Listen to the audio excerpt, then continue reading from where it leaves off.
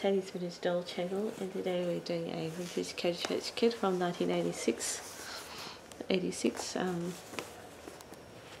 yeah, and she has brown yarn here and brown eyes and uh, she has one tooth, her tooth and here's two dimples.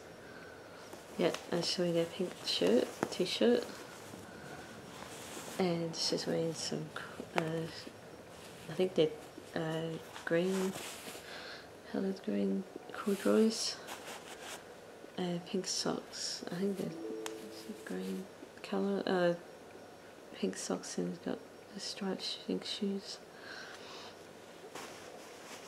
Shoes on. And it's her belly button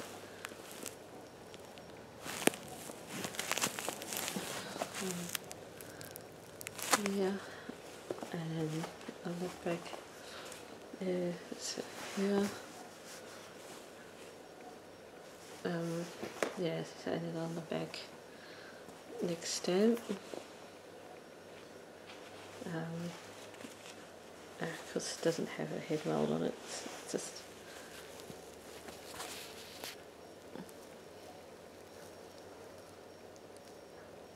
that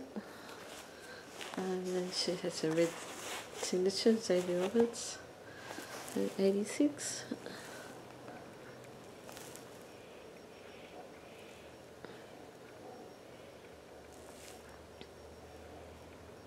Yeah.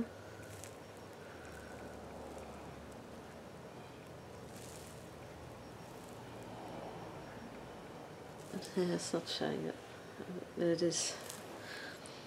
I think it's just you light. Yeah, and here's her body tag.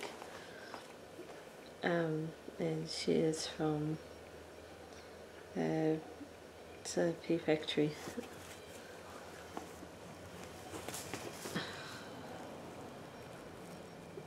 There's a bit faded. Let's see the P factory.